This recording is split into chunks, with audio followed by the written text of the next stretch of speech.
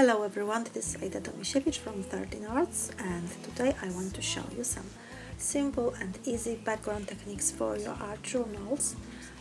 Starting with uh, blank pages and I'm covering uh, them with clear gesso. Um, use a roller or paintbrush, whatever. I use a roller because um, it will uh, leave me nice and uh, uh, thick uh, texture so uh, clear gesso then we dry it a little bit with a heat gun. Uh, so uh, we can start to uh, create our uh, backgrounds for that art journal.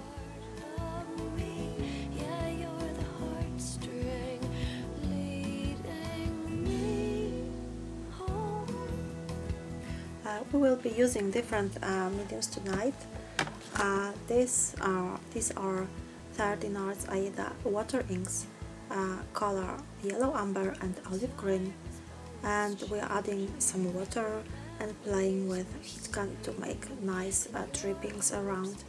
Uh, just play as long as you wish. Add more water add more inks and play play uh, as long as you're happy with the, the effect on your page. So uh, water inks are great for this kind of techniques. Also for any type of, um, of uh, projects.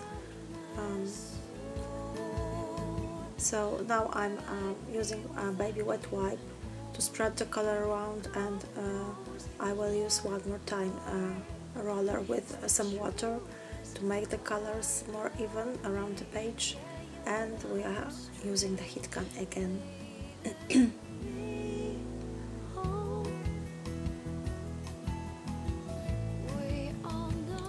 so now we're adding more colors with Aida inks. And now I'm adding also acrylic ink uh, called, it's called splash inks. And where you've got those big points of uh, inks you can use the uh, stick to draw with the ink. I'm drawing some flowers or leaves or whatever you like. Uh, different different shapes. You can just leave this background like that if you want to make it simple I will uh, add more texture to it later. Uh, but actually at this moment it looks quite nice already. So um, if you are preferring more simple effects this is nice and you can just leave it like that.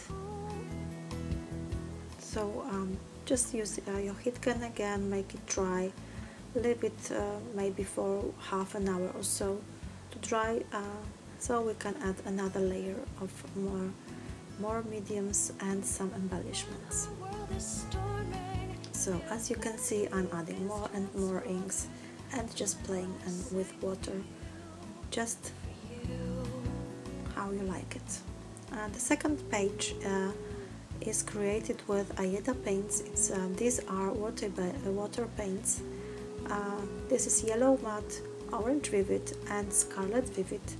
These are really nice. These um, these paints are quite uh, thick, but if you want, if you add uh, some water, you will achieve uh, really nice watercolor effect. So I'm using uh, the roller with some water again, and I am just playing with the background as long as I am happy. So three colors, and now the fourth color is the vivid green so just a little bit of paint and sponge roller again. And as you can see really really simple and quick. So uh, this is our first layer of background. Now uh, we can dry it with a, a piece of paper uh, towel towel. So uh, just uh, it will leave us a nice uh, texture also as you can see this is uh, our first layer of the background so we can add some uh, Aida uh, mists uh, but this time I will use uh, splash ink. This is acrylic ink very nice and thick. This is great for splashes but also as you can see you can draw with this little dropper. Uh, but today I will also add some extra um, textures with uh, splashes but also with um, a special tool for drawing. But you can use any stick or comb or whatever you've got at home. The next page um, just using my fingers to draw uh, I wanted to add some really vivid and nice colors today because it's so gray outside. But if you want to make it soft and delicate uh, you can just use two colors uh, just to leave it really uh, really simple so just play with your fingers some water and some paints and create a really nice colorful background uh, for your art journal pages. I'm uh, splashing with Aida Mist now because I wanted to make it really nice and vivid with uh, colors.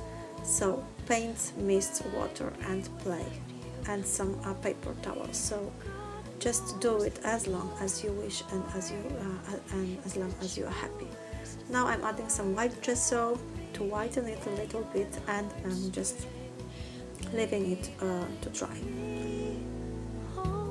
the next background is with uh, more uh, paints I just wanted to make really nice blue shades. This is matte cobalt paint and vivid blue.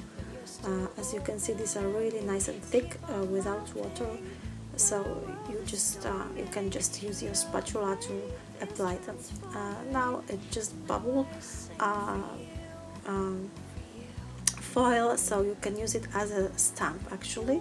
So the darker color I will apply over the yeah uh, the lighter blue so it is really nice the excess of this paint I can use here as a stamping and background for my uh, other page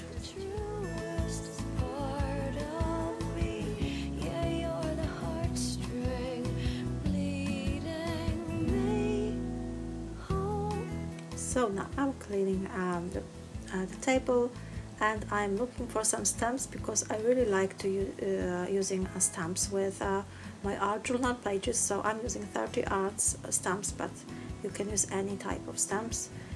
These are stamps from our winter collections. Uh, so just apply as much as you like uh, some um, um, background stamps and text stamps whatever you like now I'm using some stickers you can find uh, almost every collection there are a sheet of stickers with nice um, sentences uh, if you like to add it. These are perfect for art journaling too. Now I'm using some gel medium and sticking a piece of tablecloth white. You can also buy it in our store, um, but I think you can use any lace or whatever pieces of um, cheesecloth, tablecloth, whatever you've got.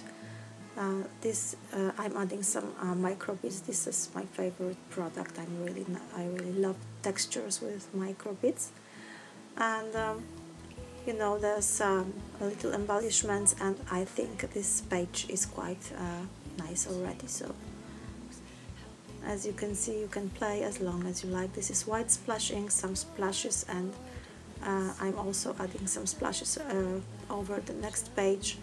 Uh, here I added some uh, one, one photograph and some uh, black ink and I'm painting, adding some water and painting around the photograph to make a shade. And now some stamping over my fourth page. And also I will add some um, uh, white gesso with stencils. Uh, you can use 13 arts gesso to make a nice texture with stencils. This is really nice and thick.